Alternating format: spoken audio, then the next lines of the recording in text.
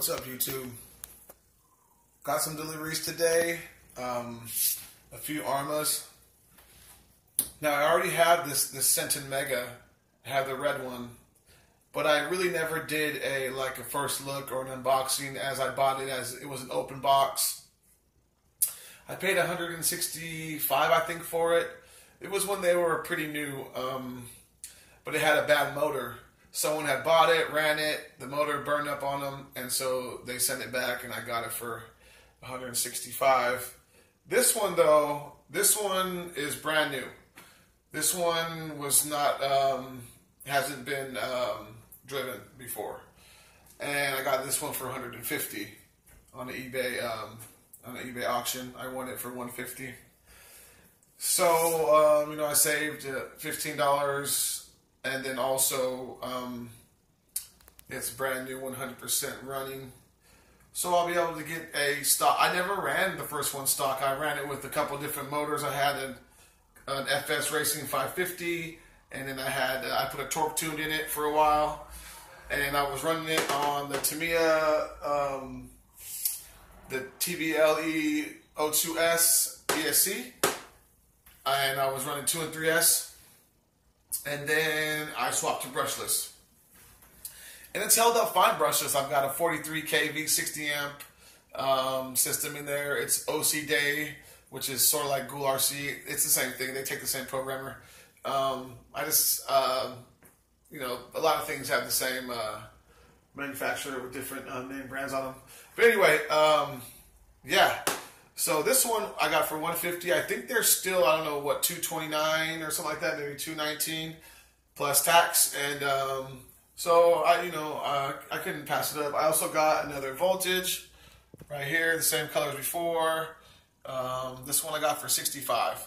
Um, this is before um, they went on sale for 99. And uh, I got the first one I think was 68, and this one was 65 and this one's also brand new. But I opened it up, and there is no batteries or a charger. So someone bought this, stole the batteries and the charger. They must be vapors. They must have been vaping.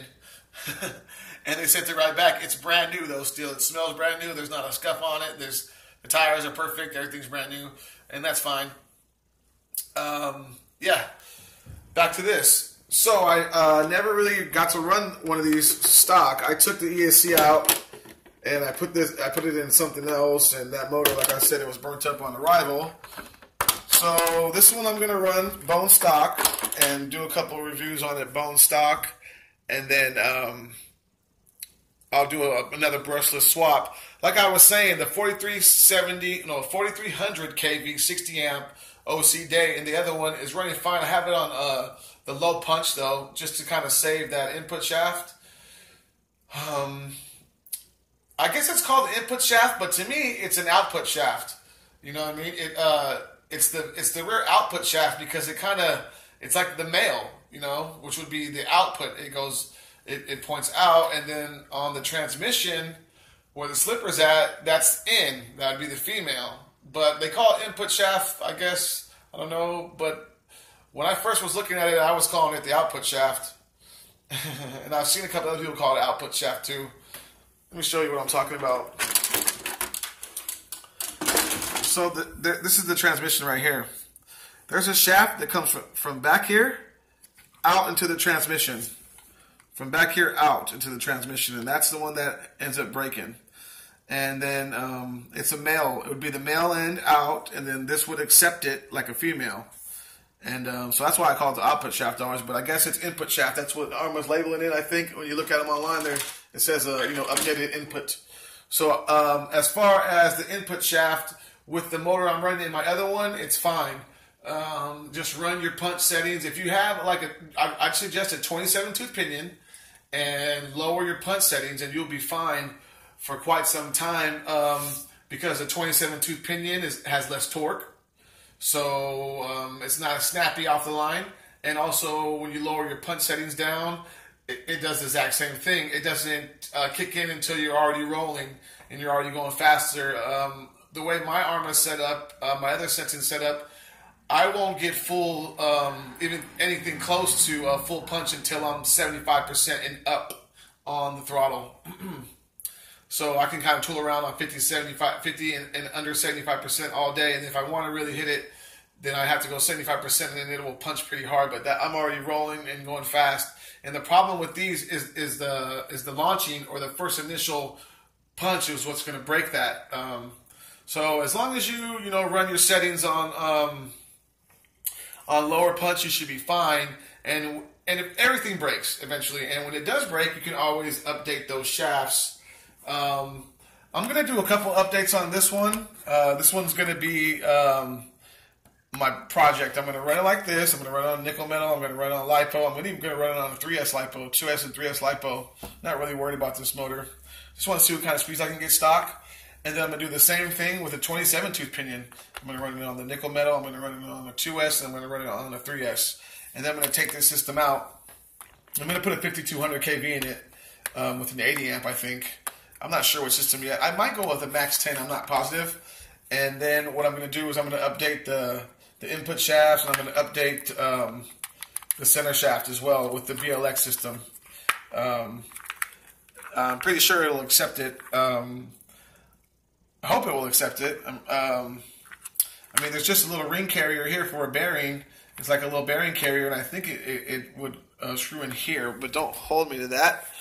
Um, and then you can always get the metal plate uh, transmission. I don't know if it's necessary, but I know that the, the input shafts will be necessary. I don't think the BLX ones fit. The pitch of gears could be different. Don't hold me to that. But they do make an updated version for it. It was out of stock for a while, but I believe it is back in stock. anyway, so th- this is a really good truck. Modular design, true modular design. I mean, uh, a lot. There's a lot of modular designs, modular designs, but this is true modular design. This is limited tools you can pretty much break down these shocks with no tools. I can rebuild this with no tools. The only thing you need is to take them off, and once they're in your hand, no tools. Um, uh, with this here too, you just take this one screw out on the bottom, you pop this off, you pull that out, and your whole motor assembly is out. And um, of course, you, you pull the shaft out. It's spring loaded. JTRC. It drives me crazy when I hear him saying spring launched all the time. That's my boy, though, man. Uh, he's taught me a lot. I learned a lot from watching his channel, and I appreciate his channel. But he keeps saying spring launched, spring launched, and I understand because um, if you don't, if you're not careful with this, if you pull it off, it will launch out of your hand. So uh, spring launched is the correct term, but um, it's called spring loaded. When it's something like this, it'd be spring loaded. It's a spring loaded drive shaft. My boy, shout out to JTRC. Funny thing is, I don't think he follows me, so he ain't gonna see this shit anyway. Um, I don't think he follows a lot of people. Who knows? I know he's never liked or commented on any of my videos, but um, yeah, he's a cool guy. He's like anyway. So this is this also comes out the same way. You could just take this out, boom, it pops right off, and this whole assembly will come out together easy access underneath for your servo. um, the difference, you know, on the BLX this is these are not adjustable. You can always uh, upgrade to adjustable ones. I haven't had a problem with it. This thing tracks straight. These track so straight and they don't give you any issues. So unless you break one, I wouldn't upgrade one. And they're super beefy. Um, you know what I mean? And these these drive shafts seem great. I've uh, had I haven't heard of anyone having any issues with them, and neither have I. Um, I've heard people talk a lot of shit about these shocks. I'm not sure why. I guess because they're plastic bodied and stuff like that. But they're they do a really good job. Arrma does a great job dampening these and um, using the right um, um, you know spring rate and oil and preloads spacers because these just handle great. They jump great out of the box. They handle great out of the box. They have they have enough give in the front to slap all the way down when you land and so that's really good. Um, these things are just really, really good RCs. Um, and I, you know, like I said, I get these for I got them for 150. The other one I got for 165. But this one's brand brand new. The other one was not. Like I said, some kid got it and probably ran it all out, and just that motor didn't last very long for him. I guess a, a couple runs. Um, but yeah, this one. Back to this. This is uh this is just the Hobbywing. It's just rebranded with Arrma. A lot of companies do that. This is like a 1040. the 1040 brushed.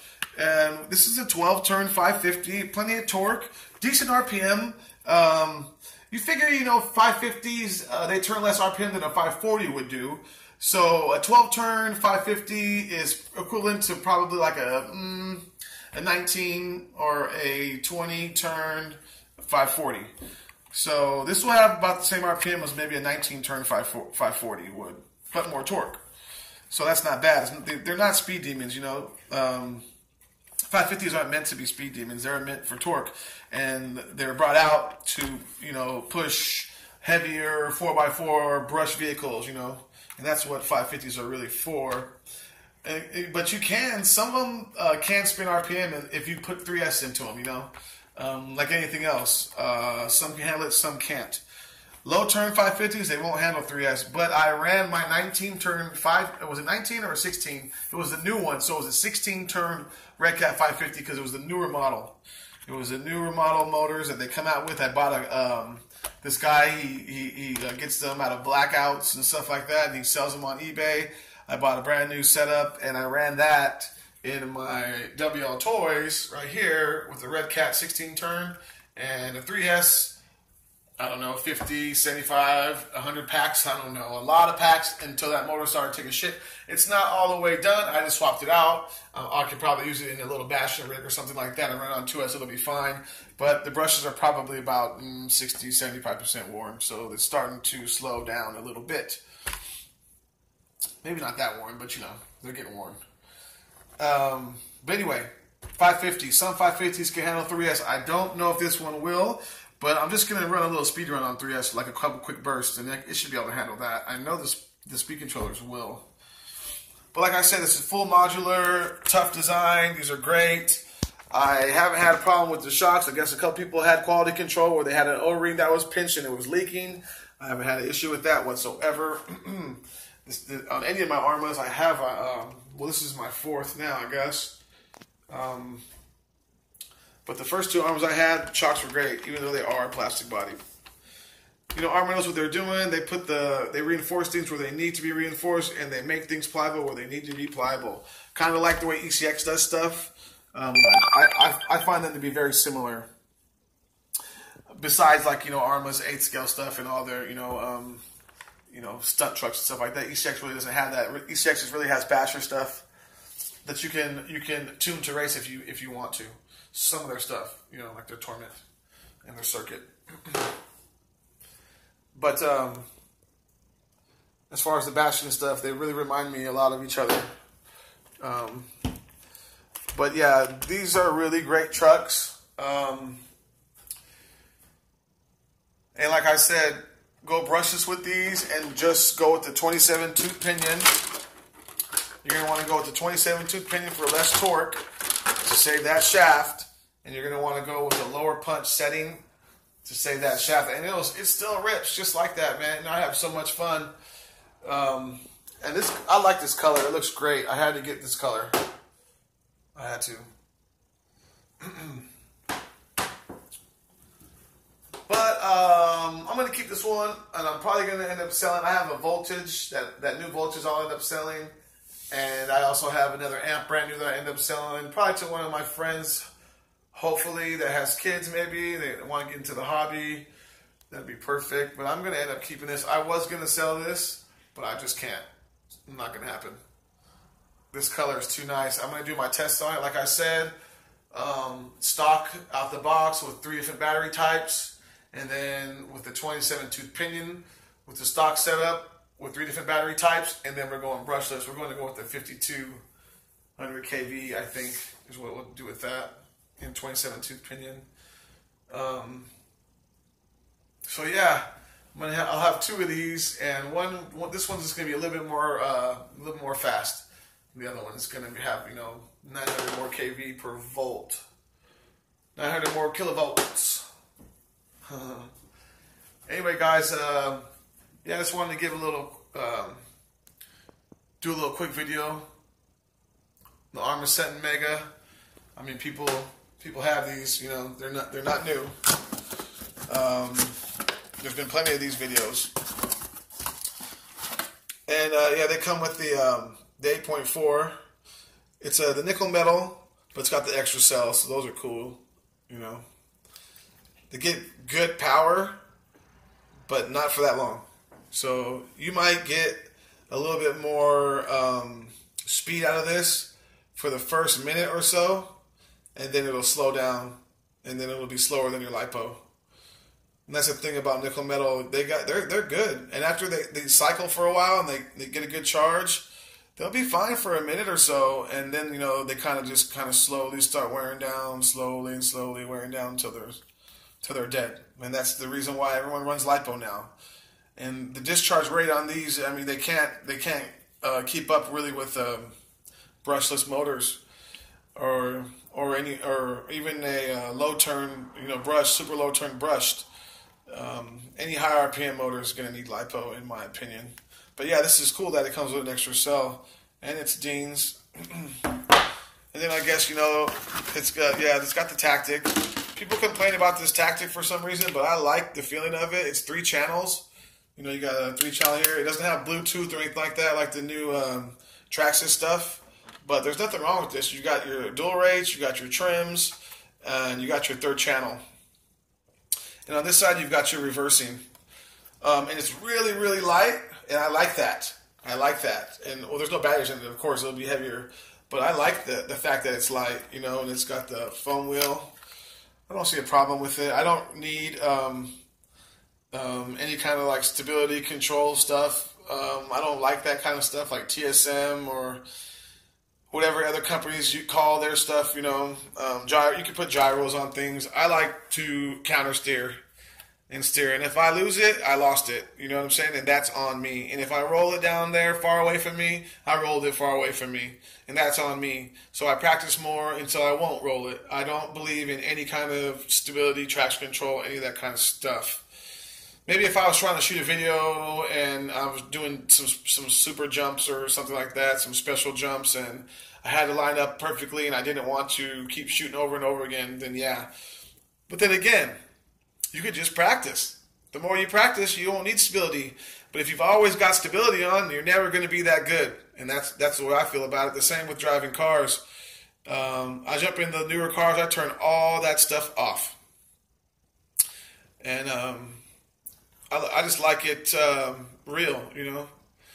And so this doesn't have any stability stuff like that. I don't believe Arrma has that. They might come out with it but I don't think they have like a gyro system, you know, that uh, that helps with your steering and stuff like that, or your, you know. Losi's got their what is it called AVC and stuff like that. So uh, Arrma doesn't have it, and that's another thing I like about Arrma. Another thing I like about Arrma are the tires. These D boot tires, they're great. Not too many to runs come with good tires, and these are for ready to run. These are pretty phenomenal, if you ask me. And the the ones on the the ones that come on the Voltage are great. I was really surprised. Those little, um, these little, um, they're D-boot um, stadium truck. These things are soft, and um, these uh, ribbed ones in the front, um, they're great. They work great. I mean, um, as far as ready to run stuff, you never get good ready to run tires. But anyways, guys, I just wanted to show you this, and um, give you a quick uh, rundown on what I'm going to do with it. And um, I'll make some videos here soon. I'm going to charge the nickel metal and uh, go driving and then uh, charge the 2S and the 3S and go take it out. That'll probably be today. Um, got the day off. Uh, so, no work today, nothing to do. But this weekend is I'm going to be busy. I got a lot of um, a lot of stuff to do in the back garden. All right, guys. Peace.